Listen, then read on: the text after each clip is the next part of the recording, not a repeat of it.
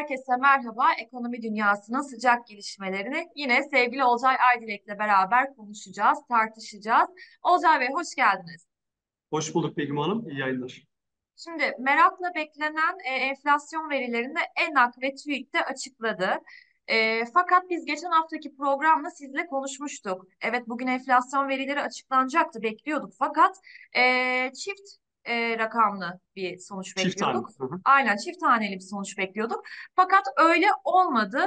E, TÜİK'in açıklanan verilerine göre Ocak ayı enflasyonu aylık 6.70 oldu. Yıllık enflasyonsa e, 64.86 oldu. Şimdi bu rakamlar e, ne ifade ediyor? Bu rakamlar güvenilir mi? Gerçek enflasyon mu? Bunu konuşacağız. E, evet Olcay Bey sizdeyiz. Şimdi tabii sizin sorunuzda da aslında bir kuşku gizli. Ya bu, bu gerçekten bizim yaşadığımız enflasyon mu? Yoksa farklı bir rakam mı açıklanıyor? Şimdi bunu daha öncesinden siz de biliyorsunuz bir tartışma yaşandı. Açıklanan enflasyonla hissedilen enflasyon. Bizim hissettiğimiz enflasyon bunun çok çok üzerinde. Özellikle Ocak ayı için. Öylesine bir fiyat artışı oldu ki işte bu ücret artışlarına bağlı olarak e, memurların, emeklilerin, asgari ücretlerin e, maaşlarına, ayrıklarına yapılan artış sonrasında e, önden yüklemeli Aralık'ta yapılmıştı. Ocak'ta da yüksek oranlı zamlar yapıldı. E, bunu herkes çarşıda, pazarda hissetti. Elimizi uzattığımız her ürünün özellikle et, süt, süt ürünleri ve kışlık giysiler bir bazılarda Türkiye göre gerileme olmuş ama o kadar yükseldi ki şimdi ben şeye baktım özellikle gıdadaki artışa gıdada inanılmaz bir artış var Begüm Hanım. Şimdi lokanta ve oteller yıllık bazda %92.27 artış olmuş yıllık bazda. E, eğitimde %79.81, sağlıkta %78.57, ulaştırmada 77.54, gıdada %69.71. Gıda ve alkol şekli. Şimdi bunun aylık bazda bakıldığında özellikle Ocak ayında ve aylık bazda bakıldığında inanılmaz bir artış var. Hangi ürünlerde? Size söyleyeyim. Sakatatlar, dana eti, kuzu eti, zeytin, sebze, meyve yani her şey, temel gıda maddelerinin hepsinde çok yüksek oranlı artış var. Örneğin Ocak'ta yıllık bazda sakatatlardaki artış %160'ın üzerinde. Kuzu eti %129'un üzerinde. Dana etinde, patateste, çayda böyle inanılmaz bir artış var. Bunu herkes görüyor zaten. Şimdi burada demek ki bu rakamlar bize kuşku uyandırıyor. Bu kuşkuyu dağıtmanın birinci şartı nedir? Demokrasiler e, şeffaflık, şeffaflık rejimi ya da saydamlık rejimi olarak anlıyor. Ne demek? İşte rakamlar var. Bu enflasyon sepetini oluşturan ürünler. O ürünleri biz göremiyoruz oradaki fiyat artışlarını. Dolayısıyla onlar 20 aydır mahkeme kararına rağmen TÜİK tarafından açıklanmıyor Begüm Hanım. Bu çok dikkat çekici. Şimdi biz o verileri göreceğiz ki o verilerin sağlıklı olarak ölçüp ölçülmediği konusunda bir kanaatimiz olacak, bir bilgimiz olacak. Tam da bu. Aslında hesap verilirlik dedikleri de bu. Demokrasinin olmazsa olmaz koşulu. Ama TÜİK ne yapıyor? Tek yanlı olarak ben açıklamıyorum diyor ve bu da soru işaretleri neden oluyor. Şimdi ikinci önemli konu siz de girişte söylediğiniz ENAK. Bağımsız akademisyenlerin açıkladığı rakamlar %9.38 Ocak ayı için. Yıllık %129.11. Şimdi TÜİK'in rakamlarına baktığımızda 64.86 %129.11. 1'e 2 neredeyse değil mi? Yani bu inanılmaz bir fark. Bir şey daha var. Bu kadar tartışmalara ve güven vermeyen rakamlara göre, rakamlara rağmen son işte Haziran'dan bu yana Merkez Bankası ve ekonomi yönetimi asıl olarak neye neyle mücadele ediliyor? Enflasyonla. Enflasyonda Ocak 2023'ün enflasyonuna baktım 6.65. Bu kadar mücadele ve Ocak 2024'te 6.70. Bu bir başarı mı bilmiyorum onu e, izleyenlerimizin takdirine bırakıyorum. Şimdi devam edeceğim izin verirseniz. İTO 6.72 İTO'yu aylık bazda İTO ile yakınsamış. %76.17 çıkmış İTO'nun enflasyonu. Şimdi bizim burada en önemli konumuz şu olacak herhalde. Mehmet Şimşek'in bu verileri açıklandıktan sonraki sosyal e, medyadan yaptığı paylaşım. Yılın ikinci yarısında özellikle yıllık bazda düşüş olacak. Onu da neye bağlıyoruz yine? Baz etkisini. Baz etkisi dediğimizde işte yüksek oranlı Temmuz ve Ağustos'taki yüksek oranlı zamlar çıkacak, şeyle oranlar çıkacak. Oraya daha düşük oranlar geldiğinde bu baz etkisiyle gerilemiş görünecek. Ama Şubat'ta, Mart'ta ve seçim sonrasında bizi bekleyen bazı zamlar var. O zamlarla birlikte özellikle gıdada yeni artışlar gündeme gelebilir ve bunun zaten işaretlerini de biz görüyoruz. Gıdada yeni artışlar, zamlı fiyatlar. Şimdi çok basit bir şey. Ee, Türkiye'de özellikle her ailenin rahatlıkla evine girebilen, girebilen yeşilliklerden söz edebiliriz burada. Nedir örneğin kıvırcık fiyatları? maydanoz ve diğer yeşillikler. Buralarda falan da o kadar yüksek fiyat artışları yaşandı ki markete gittiğinizde bir kıvırcığın 30 liraya gördü, 30 liraya ulaştığını görebiliyorsunuz. Maydanoz e, ve diğer dereotu ve benzeri ürünlerde de ciddi bir fiyat artışı var. Zaten etin, kıymanın, balığın yanına yaklaşmak mümkün değil. Dolayısıyla önümüzdeki günlerde de TÜİK'in bu sepeti açıklamamasına bağlı olarak biz enflasyonun bizim hissettiğimizle yaşa ya da yaşadığımızla örtüşüp örtüşmeyeceğini hep konuşacağız. Peki enflasyon verisi niye önemli? Bilmem o kadar önemli ki. Şimdi bizim aylıklarımız yani çalışanların aylıkları, e, maaşları özür dilerim ve e, emeklilerin aylıkları buna göre belirleniyor. Yani Türkiye'de işte 16 milyon emekli var, 32 milyon çalışan var. Bunun bir kısmının işte kayıt dışı olduğu söyleniyor. Bu enflasyon verilerinin saydam hesap verilebilir. Herkes açık olması bu nedenle çok önemli. Eğer bu e, gerçek rakamların altında açıklanıyorsa demek ki bizim cebimize enflasyon çok çok altında ücret giriyor, aylık giriyor, maaş giriyor. Ve bu aslında devletin devlet olan niteliğinin de bu anlamıyla saydamlık yönüyle tartışılmasına yol açıyor. Yani aslında enflasyon verileri sadece e, yiyecek, gıda, e, bu tarz şey- şeyleri belirlemediği gibi cebimize girecek olan parayı da belirliyor. Burada gerçekten bu Doğru, verilerin e, doğru. gerçekçi bir şekilde, şeffaf bir şekilde vatandaşa yansıtılması çok önemli bir nokta e, diyorsunuz Olcay Bey. E, şimdi e, ikinci soruma geçmek istiyorum. Sizin deneyiminize göre, bakış açınıza göre sizce açıklanan enflasyon rakamı en az kaç olmalıydı? Şimdi işte bu çok önemli bir soru. Özellikle Ocak ayında akaryakıta gelen zamlar, e, gıdaya gelen zamlar ve enflasyonu etkileyen ürünlerdeki zamlara bakıldığında e, çift, çift haneye yakınsamalıydı bence. O da ENAK en azından ENAK enflasyonuna yakın bir oranda olmasını ben bekliyordum. Ama ne oldu? 6,70.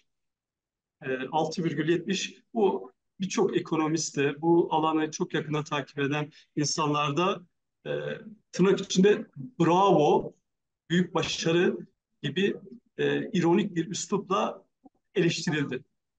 Belli ki bu e, verilere ciddi şekilde e, güvenilmiyor. Ama bu yeni bir şey değil. Aylardır bu devam ediyor. E, ve her defasında e, TÜİK enflasyon rakamlarını açıkladığında Begüm Hanım, siz de takip ediyorsunuz çok yakından, eleştiriliyor bu. Ama bu eleştirilerin bu kadar duyarsızca karşılanması, bu alanda yeni bir adım atılmaması da son derece ilginç. Şimdi istatistik, istatistik Begüm state, devletten geliyor. Yani devlete ait veriler. Bu verilerin ölçülmesi o kadar önemli ki. Bir yerlerde bunun gizleniyor olması soru işaretleri doğuruyor ve o biriken sorunlar bir süre sonra daha aşırı sorunlara yol açacak şekilde yaşamımızı etkileyecek. Ve bununla ilgili olarak şu ana kadar bir adım atılmadı. Ben zaman zaman Begüm Hanım, e, Hazine ve Maliye Bakanlığı kaynaklarıyla acaba TÜİK yönetiminde bir değişiklik olur mu diye soruyorum. Biliyorsunuz e, Bakan Şimşek Haziran'da seçimler hemen sonrasında görevi devraldı. Bazı değişiklikler yapı, yaptı. Yakın, yakın çalışma arkadaşlarını değiştirdi. En sonunda biliyorsunuz Hazine ve e, özür dilerim Merkez Bankası Başkanı görevden ayrıldı. Mehmet Bey'in talebiyle. Şimdi TÜİK'te hiç dokunulmadı. Şimdi burada e, bu alanı takip eden insanlar şöyle söylüyorlar. Diyorlar ki TÜİK iktidarın istediği şekilde rakamlarla e, oynuyorsa iktidar o alana dokunmaz. Ama Mehmet Şimşek şöyle söyledi. Ben çok iyi hatırlıyorum. Siz hatırlayacaksınız. E, verilerle asla müdahale olmadığını söyledi. Ya bunun bu sözün altının doldurulması gerekiyor. O da nedir? Saydamlaştıracaksınız, açacaksınız. Doldurulmuyor ki biz her açıklanan enflasyonda e, kendimizi bu konuyu konuşurken buluyoruz. Tabii, doğru, doğru. Sadece o değil, diğer veriler de öyle. Yani bunlar iyi ölçülecek ki Ölçme aynı zamanda yönetmeyi de birlikte getiriyor ve tabii güveni de. Oradaki aşınan ne aslında güven. Siz ona güvenmezseniz ona e, ona göre pozisyon alırsınız. Her türlü adımınızda, harcamalarınızda, birikimlerinizde, tasarruflarınızda, her türlü adımınızda ve burada Türkiye'nin önemli bir güven sorunu var. Örneğin bunu nerede yaşadık Begüm Hanım? İşte bu e, doları dolara baskılandı. Doların baskılanmasının sonrasında da e, ciddi şekilde patlamasının etkilerini gördük. Faizler baskılandı. Faizler baskılanınca kur patladı. Kurla birlikte enflasyon patladı. Demek ki ne yapmak gerekiyor? Bu yapay biçimde müdahaleleri olabildiğince azaltmak gerekiyor. Herkesin ya ta- tabii ki devletin bir takım verileri gizli olabilir ama bu veri gizli olamaz ki. Size dair, bana dair, herkese dair veriler olduğu için bunların açılması gerekiyor. Hepimizin hayatını etkileyen aslında en önemli mihenk taşlarından bir tanesi bu enflasyon verileri. Ee, şimdi klasik soruya gelmek istiyorum Olcay Bey. Ee, bu Buyurun. enflasyon nasıl düşürülecek? Malum soru. İşte soru şu.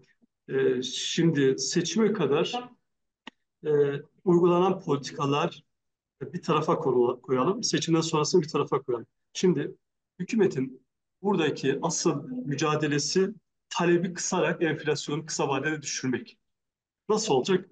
Ee, biz aşama aşama yoksullaşacağız. Yoksullaştıkça talep azalacak. Buna bağlı olarak enflasyon gelecek. Şu anda uygulanan o. Ama uzun vade yapılması gereken üretimin artışı. Bu çok zor, zahmetli ve uzun vadeli planlar gerektiriyor. En önemlisi örneğin üretim artışınız, artışında iş gücünüz. İş gücünüz son derece önemli. Hukuk sisteminiz, e, ekonomi yönetimine ve bir bütün olarak iktidara olan güven, içeride, dışarıda. E, bunun yolu şu an şu anda bu e, birçok parametrede sorun var. Yapısal önlemler, kamunun harcamalarında tasarruf şu ana kadar onları göremedik maalesef. Ve bunlar bir iç içe geçiyor. İç içe geçtiğinde hep görüyorsunuz ki burada olabildiğince kısa vadeli adımlar atılıyor. Oysa bizim ne yapmamız gerekiyor? Üretimimizi artırmamız gerekiyor. Üretim artışıyla birlikte en önemlisi de dış kaynak girişini sağlayacaksınız. Yurt içinde ve yurt dışında yatırımcıların güvenini sağlayacaksınız. Ve buna bağlı olarak da yavaş yavaş yavaş enflasyonu geriletmeye çalışacaksınız. Ama bu hep böyle benim gördüğüm kadarıyla Türkiye'de palyatif denilen günübirlik pansuman bir takım önlemler gündeme geliyor. Kalıcı adımlar atılmıyor çünkü kalıcı adımların atılması için gerçekten büyük bir organizasyon, kararlılık, uzun vadeli devlet aklıyla uzun vadeli planlar yapılması gerekiyor. Oysa şimdi yaptığımız şu, e, olabildiğince gelirleri baskılamak işte TÜİK'in az önce söylediğim gibi. Yani gerçek verilerle açıklanan veriler arasında e, maaşlarda, aylıklarda aleyhimize bir durum söz konusu Begüm Hanım. E, seçim sonrasında bunu daha çok göreceğiz. Örneğin kredi kartları çok konuşuluyor. Kredi kartlarından ciddi bir tüketim var. Orada da belli adımlar atılacaktır büyük olasılıkla. Limitlerin baskılanması, faizlerin artışı gibi. Biliyorsunuz Kasım'dan bu yana kredi kartlarına dokunulmuyor. Oralarda da önemli adımlardan atılmasını seçimden sonra bekliyorum. Çünkü iktidarın önünde merkezi seçimler için, Cumhurbaşkanlığı ve milletvekilleri, milletvekili seçimleri için dört yıl olacak.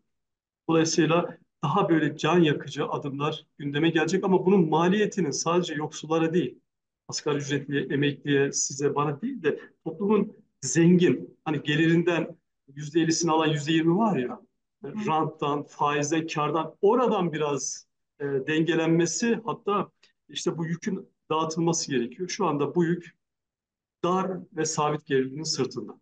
Aslında hiçbir zaman tabandan, zeminden bir çözüm yapılmıyor, köke inilmiyor. Hep eee, o sorunu bindirici, eee, sızısını azaltıcı çözümler üretilmeye çalışıyor. Eee, peki şu an Türkiye'nin ekonomisinin enflasyon verilerinin de geldiği hale bakınca bunun düzelmesi aslında öyle bir anda hemen olacak bir şey değil, değil mi? Tabii. Hiç kuşkunuz olmasın enflasyon işte hızlıca artıyor. Enflasyonun gerilemesi çok yavaştır. Zaten orada bir hedef var biliyorsunuz bu, bu yıl sonu %36. Onun üst sınırı %42. Ama bunun revize edilme olasılığı bence yüksek. Biliyorsunuz Perşembe günü e, Merkez Bankası ilk enflasyon raporunu açıklayacak. Yeni başkan Fatih Karahan. E, bazı e, kalemlere değişiklik yapılır mı? e, seçim öncesinde olmayacağını söyleyenler var. Evet ben de buna katılıyorum ama seçimden sonrasında enflasyonda 2023 yılında olduğu gibi yukarı yönlü revizyonlar yapılabilir. Zaten beklenti de en iyimser tahminle yıl sonu beklentisi 45-50. Yani tek haneli enflasyonu biz büyük mücadele vererek gerçekten yaşamımızdan, yaşam kalitemizden her şeyde büyük ödünler vererek ancak tek, tek haneli enflasyona bu dediğim üretim artışıyla birlikte e, geçebiliriz. O da bu yıldan bir yıl içerisinde, altı ay içerisinde olmayacağı belli. E, bu en iyimser tahminle 2026'yı belki sonrasını bulacak gibi görünüyor.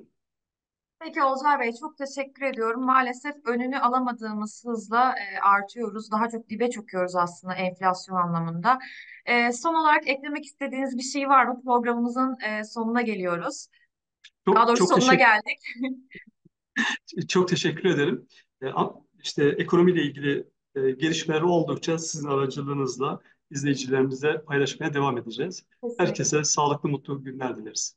Kesinlikle çok teşekkür ediyoruz. Değerli izleyenlerim, başka bir bölümde, başka bir gün görüşmek üzere.